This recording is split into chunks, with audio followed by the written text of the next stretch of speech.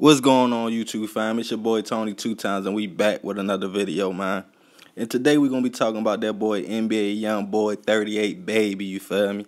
So he was approached by a goon, you know what I mean? Dude was talking slick out his mouth, said Youngboy a hoe, saying he young, he'll smack him and all this. Youngboy kinda laughed it all, told bro he'll he'll do something to him if the cameras weren't out there. But man, it's crazy because when the dude walked up on him, the first thing dude hollered told his homeboy, like, make sure you record. And I feel like if you really want to smoke, if you really want to do something, the last thing gonna be on your mind is pulling out a phone. So I don't know if old boy was clout chasing or whatever, but I do feel like Youngboy been going through a lot and, and a lot lately. You feel me? It was rumored that he had a fight at a concert probably like a few days ago. So it's just been a lot going on with Shorty.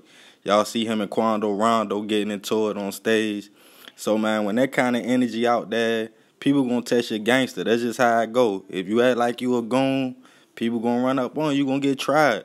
Not saying old boy was a threat, but y'all let me know what y'all think. Check out the clip. Leave your comments below. If you're new to the channel, be sure to subscribe. Hit the notification bell for uploads. Family, y'all already know what it is. Check the links in the description on the race to 1K. Let's get it. Shit, nigga, hoe. You a hoe. You a hoe. Young boy, you a hoe. On you a young nigga on. But hard, though. Man, tell you